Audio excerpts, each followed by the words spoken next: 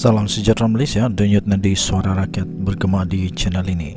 Terima kasih kerana bersama-sama dalam channel ini untuk mendapatkan berita-berita dan ulasan-ulasan terbaik untuk seluruh rakyat Malaysia. Bagi anda yang pertama kali bersama-sama dalam channel ini, sila tekan butang subscribe, like dan share. Malaysia kita punya, cintai Malaysiaku, kita jaga kita. Sekali lagi, bagi anda yang pertama kali, sila tekan butang subscribe, like dan share. Kita mulakan berita menarik hari ini.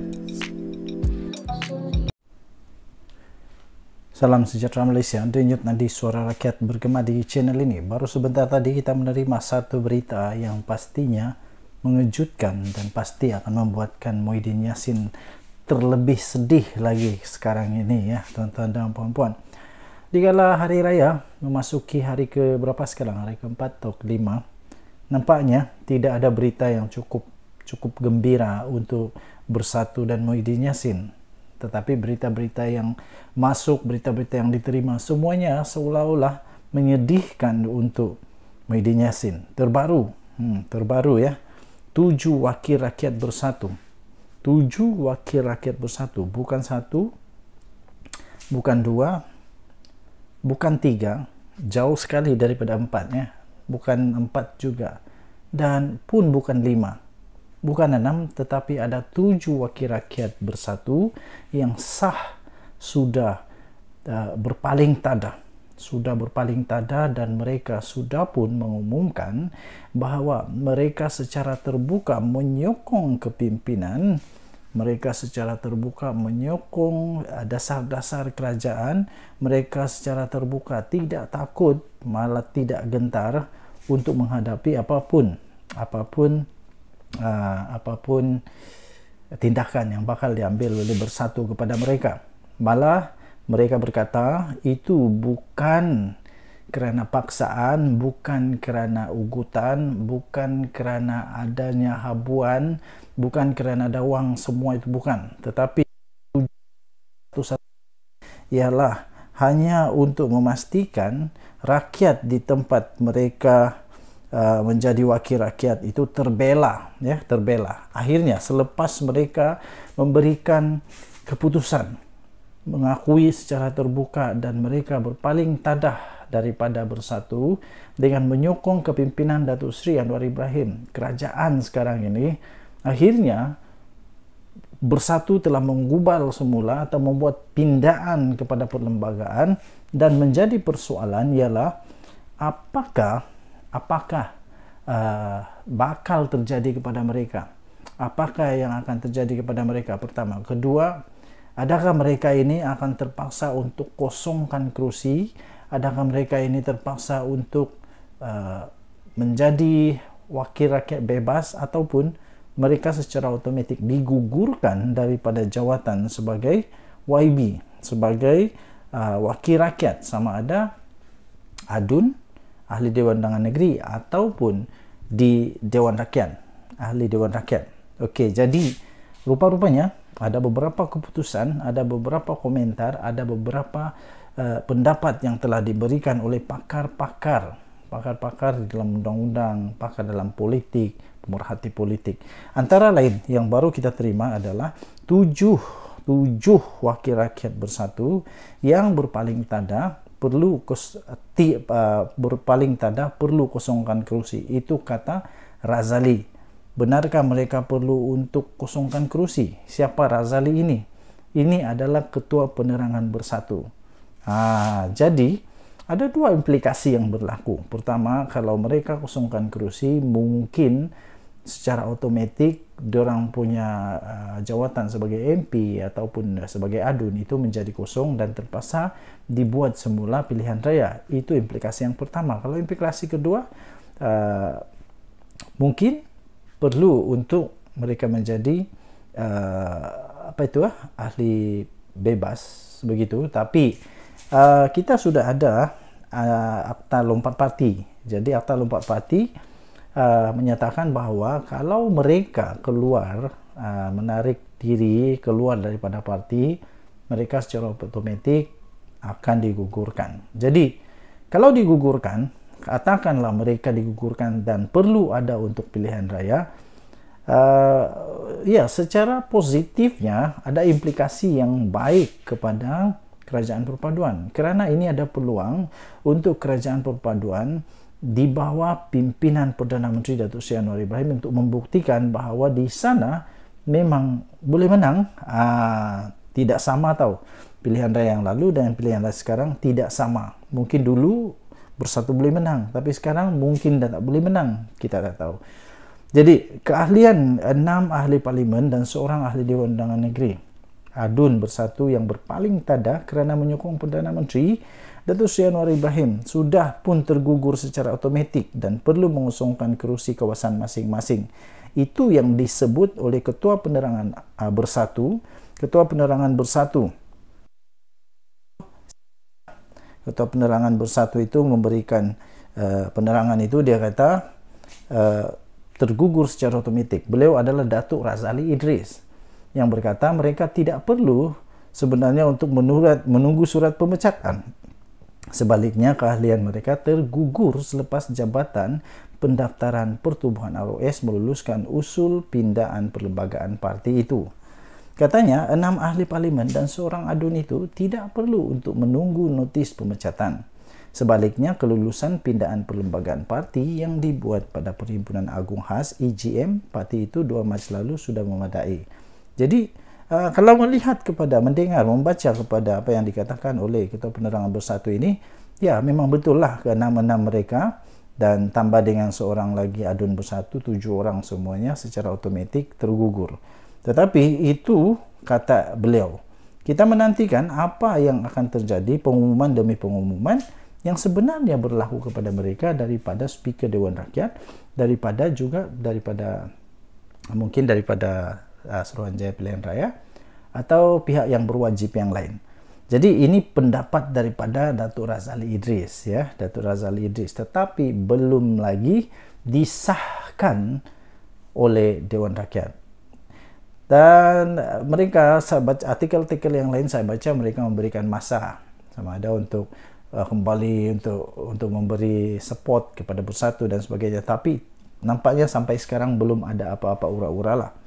Jadi Razali berkata, Uh, parti hanya akan menghantar surat pemakluman beserta notis kelulusan pindaan perlembagaan parti seperti yang diluluskan ROS. Yang saya heran, kenapa tidak bagi saja surat pecat? Pecat je lah. Enam ahli parlimen dan adun digesah uh, supaya tidak menunggu surat daripada bersatu. Sebaliknya, jika anak jantan, gentleman, lepaskan jawatan dan umum kosongkan kerusi katanya. Oh, rupanya begitu. Nah, rupanya uh, hanya dicabar untuk letak jawatan tapi tidak dibagi surat.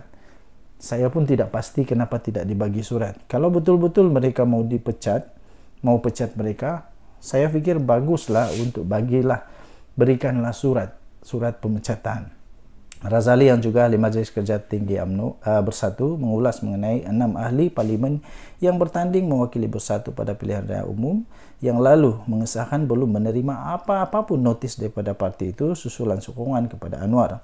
Ahli parlimen daripada Bukit Gantang pula, Datuk Syed Abu Hussein Hafiz Syed Abdul Fasal dilaporkan berkata, pihaknya masih belum menerima apa-apa notis daripada bersatu selepas ROS meluluskan pindaan perlembagaan.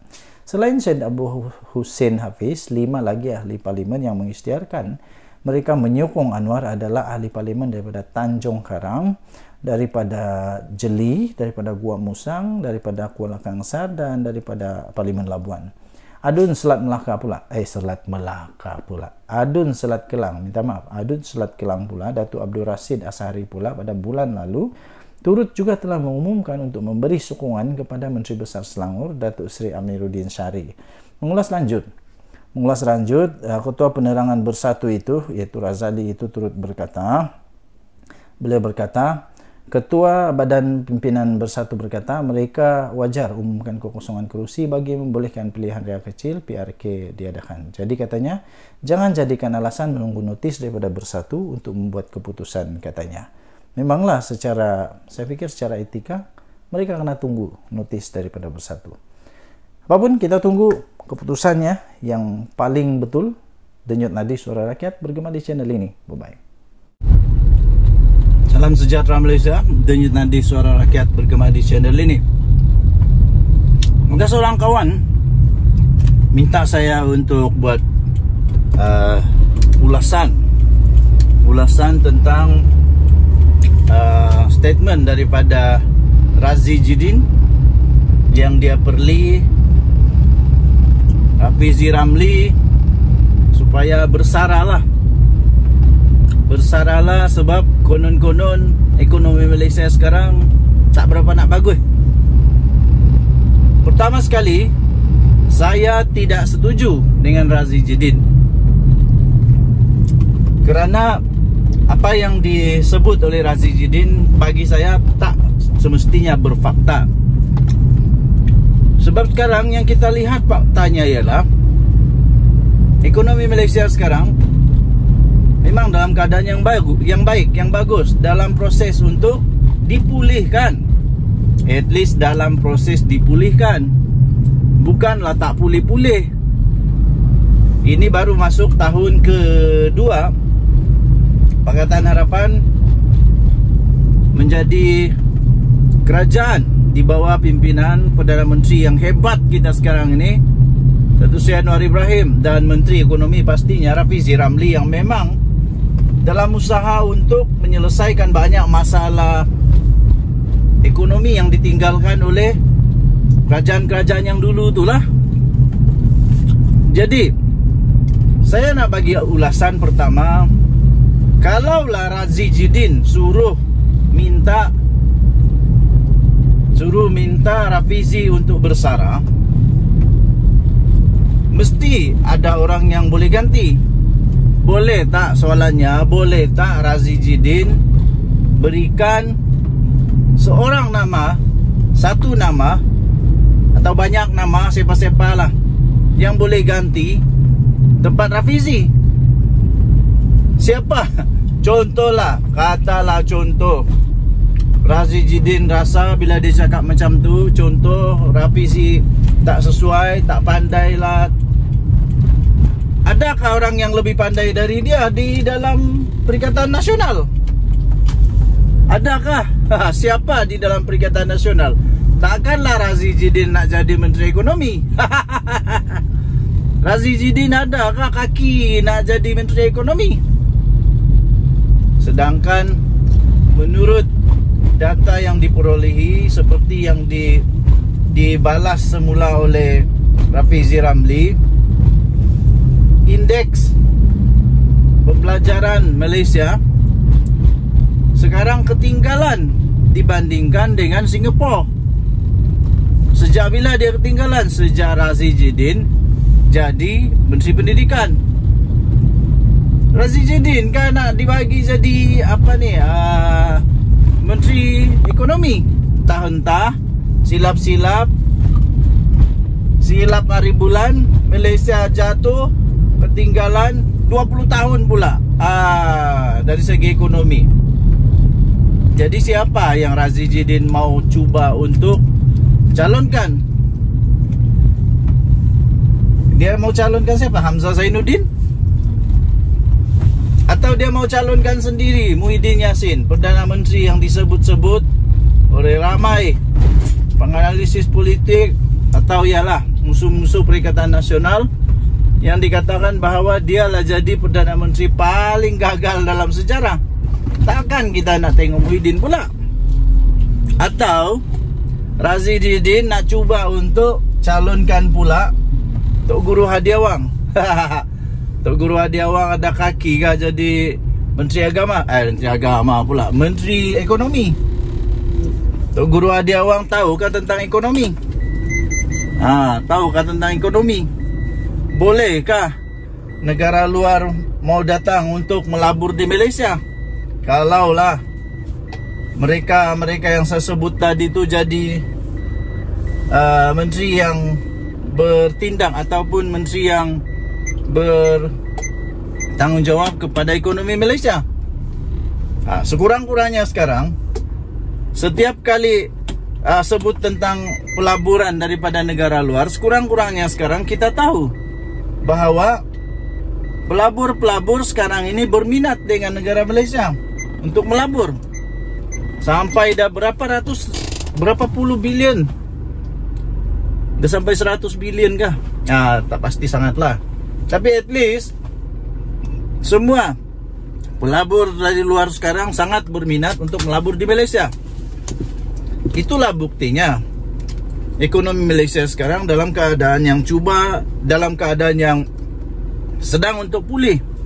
Ah jadi janganlah terburu-buru kata semua formula belum lagi ni. Formula itu mengambil masa. Razi Jidin kena faham. Untuk membangun untuk memulihkan ekonomi negara bukan perkara yang mudah. Apatah lagi kalau ekonomi yang mau dipulihkan itu sudah teruk. Dengan berapa? Triliun kalau tidak silap kalau saya tidak silap triliun hutang negara Malaysia. Bila Datuk Seri Anwar Ibrahim jadi Perdana Menteri dia ambil je dia tak sangka rupa-rupanya kerajaan Malaysia hutang dia lebih teruk daripada apa yang dia sangka. Ah jadi tenanglah. Pertama siapa yang Razijidin mau cuba untuk tonjolkan kalau lah dia suruh Rafizi untuk berhenti jadi menteri nah Kedua, waktu Menteri Ekonomi zaman Perikatan Nasional Muhyiddin Yassin, kalau dibanding dengan Rafizi, mana lebih bagus? Ah, siapa lebih bagus? Siapa yang lebih uh, ada praktikal? Bukan teori saja tapi praktikal dalam penyelesaian masalah. Ah. Sekarang ini dengan dan hasilnya padu saya percaya 2-3 tahun dari sekarang rakyat Malaysia akan menuai kecemerlangan bukan saja kerajaan tapi rakyat Malaysia akan menuai kecemerlangan apabila padu ini akan memacu ekonomi negara Malaysia hasil daripada kajian-kajian dan seterusnya pelaksanaan. Kita bagi masa kepada kerajaan ini. Kesimpulannya Pertama Razi Jidin Dia tak faham apa yang dia cuba untuk cakap Sebab dia bukan pakar ekonomi. Dia tak pernah pegang tentang ekonomi. Yang dia tahu adalah dia pernah jadi Menteri Pendidikan. Ha.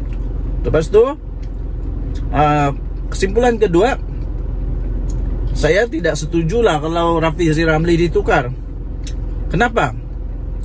kita dah penat lah tukar, tukar, tukar. Bagi masa untuk orang yang uh, dapat deliver, dapat deliver keputusan yang bagus dengan teori, dengan kajian dan pelaksanaan yang bagus ini.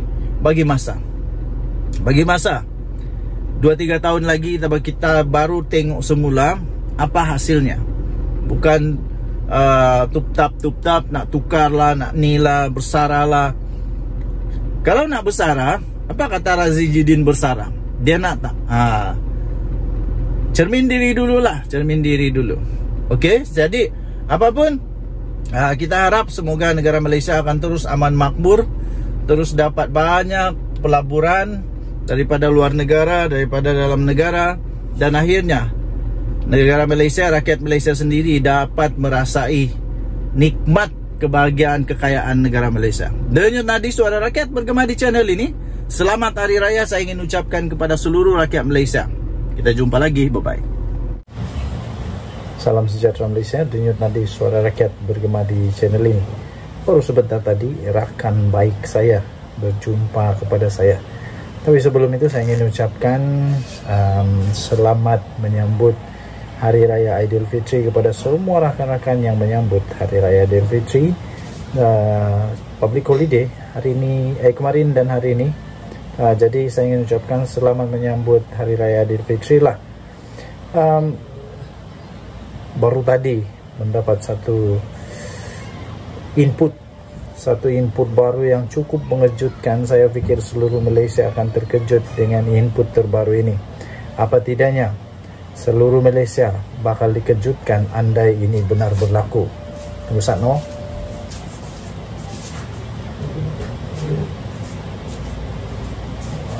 Ha, input terbaru baru kita terima. memang mengejutkan seluruh dunia jika benda ini benar berlaku tapi tidak mudah akan berlaku pertama kedua benda ini hampir mustahil boleh berlaku input ini mengejutkan seluruh Malaysia malah akan boleh mengucar kacirkan politik Malaysia pastinya sekiranya benar berlaku. Input ini memang sungguh mengejutkan. Input yang baru kita dapat adalah input pertanyaan daripada seorang rakan. Bagaimana sekiranya bekas Perdana Menteri Tun Mahathir Mohamad masuk PKR saya terus gelak. Saya gelak ketawa dan saya tak percaya rakan saya boleh tanya soalan yang begitu merapu. Benda tu tak tak logik langsung tapi tak mustahil. Masih anda ingat betapa tak ngamnya? Sungguh tidak bengam. Sungguh apa? Susah juga lah mau cakap permusuhan tapi ya mungkin betul juga ada permusuhan di antara Mahathir dan Anwar. Tapi yang saya nampak bukan Anwar yang bermusuh tapi Mahathir yang memang seolah-olah tak boleh terima Mahathir. Saya pun tidak tahu kenapa. Tapi tidak mungkin Mahathir mau masuk PKR tapi tidak mustahil. Sedangkan begitu sudah teruk mereka boleh bermusuhan berpuluh tahun, lebih 24 tahun je. Lebih 20 tahun mereka ber, bermusuhan, bergaduh. Tiba-tiba boleh berkawan dan um, persyarikatan itu, persahabatan itu telah pun menyebabkan UMNO Barisan Nasional yang gah berpuluh tahun memerintah negara Malaysia akhirnya tumbang. Jadi tidak mustahil untuk Mahathir masuk PKR tapi hampir mustahil Okey, ada beberapa andaian yang tak masuk akal itu yang uh, pasti akan ditolak. Pertama Akarum di PKR sendiri akan menolak Mahathir. Kedua Mahathir bikin apa lagi? Sudah sebenarnya Mahathir sudah tidak ada guna lagi sudah tidak relevan lagi dalam politik Malaysia sekarang. Politik moden negara Malaysia sekarang Mahathir sudah tidak lagi relevan. Malah Mahathir sekarang sebenarnya sangat-sangat berpotensi untuk diheret ke mahkamah. Pertama kerana RCI untuk Pulau Batu Putih yang sekarang ini sudah masuk ke peringkat siasatan diraja. Kalau dia tidak mau datang untuk disiasat memberi kerjasama, dia kebakal akan ditangkap. Boleh ditangkap. Itu kata uh, Azalina Osman Said walaupun Azalina Osman Said tidak tidak menyebut nama mana-mana perdana, bekas Perdana Menteri. Tapi siapa lagi? Siapa lagi? Kalau bukan eh, Mahathir. Uh, sebab waktu dia jadi Perdana Menteri ketika itulah Pulau Batu Putih punya rayuan itu dibatal ditarik balik. Pertama itu ahli PKR tak akan terima Mahathir. Kedua bikin apa orang yang sudah tua yang sudah expired date ini sudah sudah limpas pun expired date dia bikin apa lagi mau dia? Lebih baik cari orang yang lebih muda. Ha. ketiga Mahathir sudah terlalu tua. Dia tidak dapat boleh buat apa-apa lagi dah. Dan orang Melayu sendiri pun sudah membuktikan bahwa Mahathir ditolak jadi untuk apa lagi Mahathir masuk dalam PKR hanya mungkin dia cuba-cuba untuk mau menyelamatkan diri saja. Menyelamatkan nafas terakhir dia dalam riwayat politiknya. Mungkin itu saja. Tapi untuk dia mau membawa perubahan kepada politik negara kepada orang Melayu itu semua sudah tidak relevan lagi. Dia sudah terlalu tua. Fikiran dia tidak lagi boleh ke mana dibuktikan dengan dia kalah teruk. Buat pertama kalinya bekas Perdana Menteri kalah teruk langsung tidak dapat dia punya deposit pun. Amat memalukan. Malah bukan sahaja dia kalah teruk parti dia semua semua semua calon-calon daripada pejuang sama ada calon itu hebat kata hebat ke atau sebagainya. Tapi semua kalah teruk. Termasuk mukris. Kenapa? Ada kemungkinan juga kerana ada kelibat yang namanya Tun Mahathir di dalam parti itu yang ditolak bulat-bulat ditolak mentah-mentah oleh orang Melayu. Jadi kerana itu untuk nak kata dia ada power lagi dia ada relevansi dia lagi dia ada uh, um ada aura lagi untuk me, apa untuk me, mengikat orang Melayu sudah tidak ada lagi lah. Jadi saya simpulkan saja pendek saja. Mahathir boleh memohon untuk masuk PKR kalau dia betul-betul mau. Dia bolehlah tulis surat kah tulis uh, isi borang kah isilah 100 kah 200 borang kah 1000 borang kah isilah berapa banyak borang pun. Tapi Mahathir tetap tidak akan diterima oleh ahli PKR saya fikir begitulah. Kalau dia diterima pun untuk jadi ahli PKR masuk PKR tapi dia hanya jadi ahli biasa aja lah. Tak lama lagi mungkin ya baguslah kalau Mahathir boleh hidup 10 tahun lagi ha, tapi ya dia boleh dia boleh tapi pasti akan ditolak oleh PKR jadi bagi saya tak payahlah nak fikir Mahathir masuk PKR tidak ada pun faedah untuk dia masuk PKR dan dua-dua pihak lah tidak ada faedah. Mahathir masuk PKR pun tidak ada faedah. Uh, PKR dapat Mahathir pun tidak ada faedah. Jadi dua-dua tidak ada faedah. Kesimpulannya Mahathir tak payahlah masuk mana-mana ahli parti lagi lah lebih baik Mahathir tumpukanlah kepada amal ibadah dia terakhir ni. Dan nak sampai kena panggil oleh Tuhan ini baguslah buatlah uh, buatlah amal ibadah eh, supaya ada bekalan untuk di hari hari yang akan datang. Denyut Nadi Suara Rakyat bergema di channel ini. Jangan lupa tekan butang subscribe, like dan share. Bye-bye